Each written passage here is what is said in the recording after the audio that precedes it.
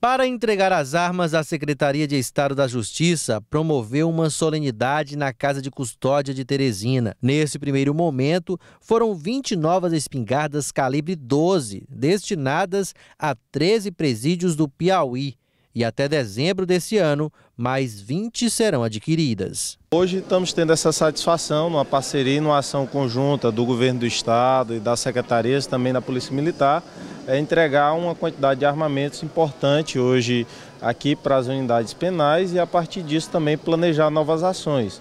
Existe uma parceria e a diretriz do governador é que caminhemos juntos, a Secretaria de Justiça, a Secretaria de Segurança e também o comando da Polícia Militar. A partir dessa ação também outras ações virão. O modelo da arma é ultramoderno, diferente do que é usado atualmente.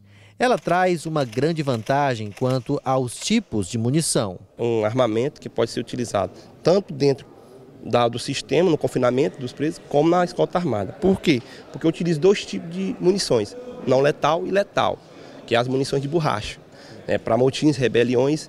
Então, o grande ali é esse aqui, é uma, é uma munição, é um armamento de, de, grosso calibre e com isso a gente vai ganhar muito, porque era um sonho da categoria vir esse armamento para as unidades. Com a entrega dessas armas, a Secretaria Estadual de Justiça veio atender a uma reivindicação antiga dos agentes e dos policiais que fazem a guarda nos presídios do Piauí.